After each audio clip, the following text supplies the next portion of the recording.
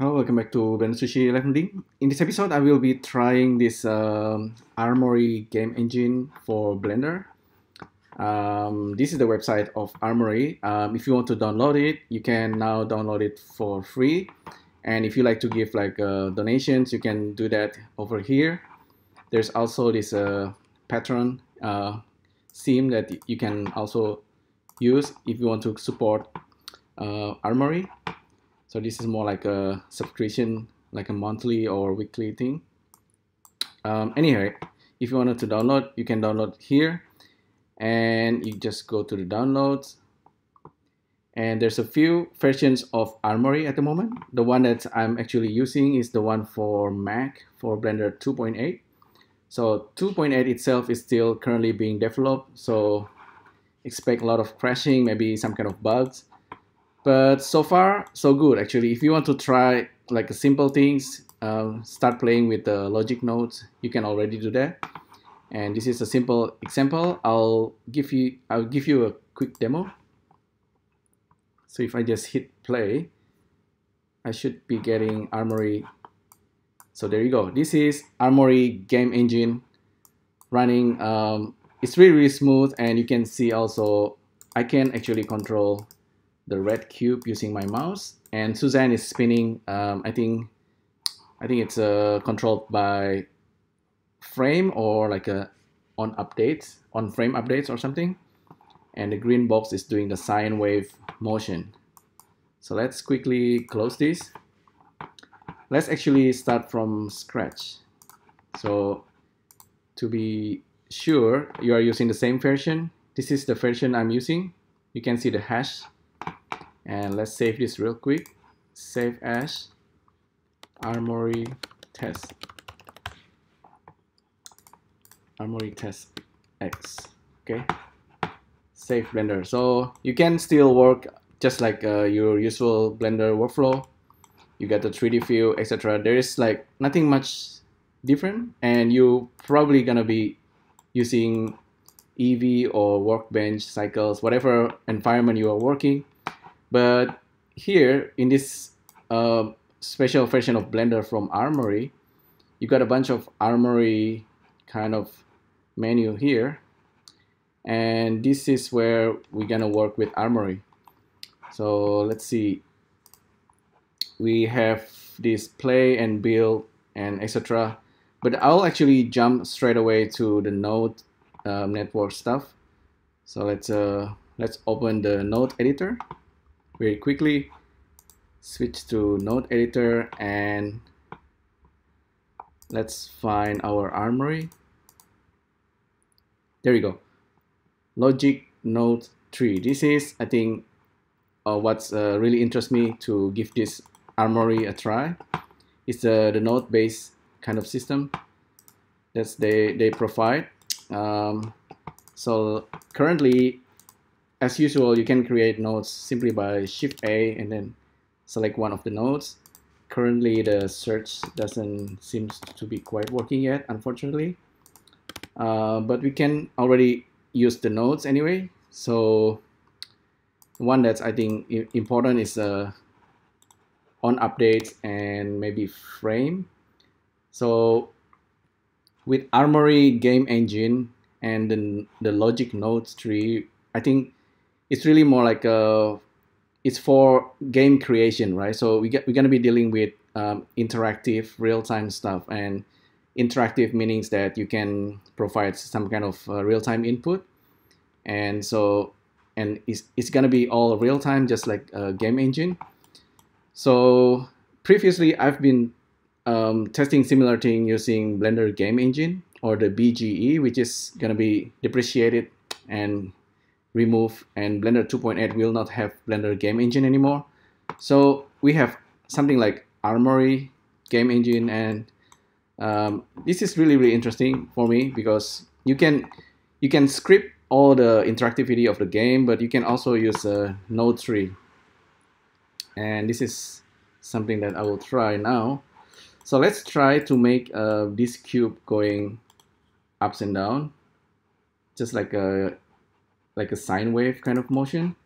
So let's try if that's actually easy to do. for that I believe we need to have a frame number or something similar so let's try to find a frame okay scrolling actually sometimes give that error and I have a feeling that I should just copy paste from this guy right here. Paste it. Okay cool. It's all there. So here I'm using on updates and there's uh, this rotate objects for Suzanne. I don't have Suzanne object but I got this cube and the cube. Um, this cube let's get rid of this for now. I want to make this cube goes ups and down. So this is the nodes that we need at the very least. Um, on update is something important that we always need to use I, I believe. Um, if we run this you will see that it it's probably not gonna work right away because there's an error. Yeah the cube is doing nothing. Uh, and why is that? That's because in order for this to work we need to attach the logic node tree into these objects. And the way to do that we select the objects and goes under armory traits. Well actually armory yeah I think armory trait and then here we select nodes and we assign the nodes tree okay this guy that's the name. Select it there and by doing that I believe we should see the cube now kind of going up and down.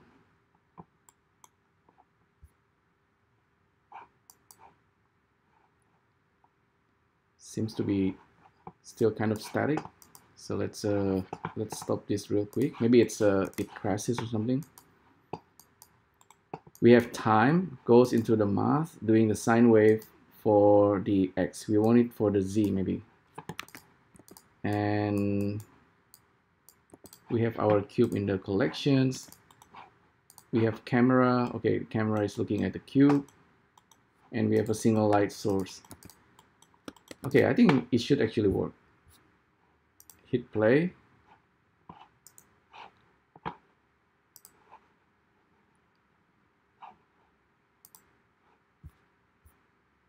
Oh okay. Now our cube is doing a sine wave yep cool that's working and you can see how smooth it is. Uh, I think it's probably running at 60 frames per second. Um, it's a game engine. It's running outside of Blender. So let's try doing another test using Suzanne. We're gonna try to make Suzanne spinning and we're gonna be using on updates. On updates, I think it's gonna try to run it on every frame upgrade frame update but it's not like frame like uh, in animations. It's like uh, on on a update of the game engine I believe.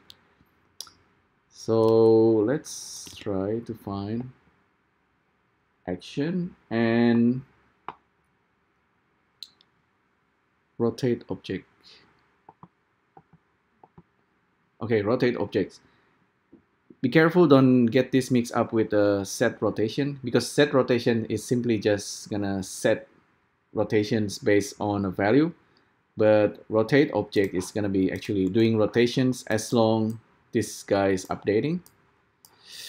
So yeah a lot of kind of guessing currently uh, with, I'm, with what I'm doing but I think this is a is a good way to try on Armory especially with the logic nodes. There is a similarity with the logic nodes between uh, uh, Armory and animation nodes, Sverchok or or Blender Logic Editor back then. So so let's give Suzanne a little bit of color.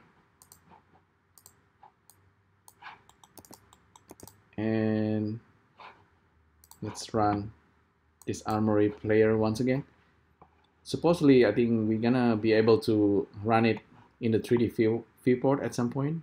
Currently it's running like this. So you can see Suzanne is spinning.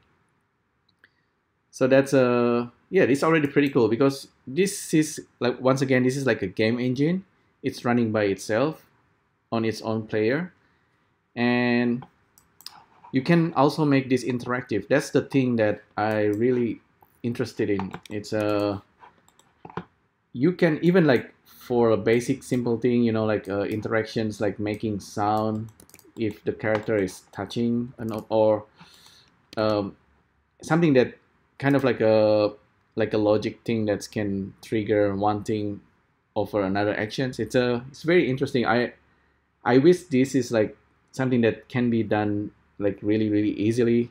Um of course it's already pretty easy with the game engine but uh i like this to be even simpler you know like because we're gonna be like using this kind of uh, real-time thing for ar or vr whatever it's i think that's uh, gonna be a big thing. So it's it, it needs to be some kind of game engine and an app. Okay, so a lot of talk and input. Let's try on mouse. Okay, on mouse. This is the we gotta be using mouse and there's a choice here left middle or right button. And of course you can guess it. This is uh, the, the out is gonna be like the trigger true or false right? So let's actually let's make a donut a torus and then try to control the torus by using on mouse. So we're gonna need another actions and translate objects. So this is the the most basic example I could think of. Donut is see the donut is not showing up. Maybe it's a maybe it's a bug. This needs to be under collections maybe and then now we can see the torus. So down left down right currently I'm doing it like this. Maybe there's a better way. Down left. Gonna make the torus goes to the left so minus 0.1 there and this one 0.1 let's let's hope that this is working. Um, we probably need to assign this node tree oh okay the interesting thing is the Suzanne is not assigned armory trait uh, and it's simply work but I, I believe it's a it's a good idea to do this always or maybe you only need to do it once You're not assigning it per object. But anyhow, so Torus, Cube, Suzanne, all controlled by the logic nodes inside this game engine. So yeah, it's a very simple and basic stuff, right? But it's uh, still pretty interesting. And the nice thing about this this kind of way of working is that you can easily make changes to the logic nodes. Of course, this thing will get more and more complex and but but still it's a imagine if you if you want to do just a simple VR, you know, just with a little bit of interactivity, this is a good start, you know. Or the, the middle click doesn't work. Maybe I did something wrong here. Um,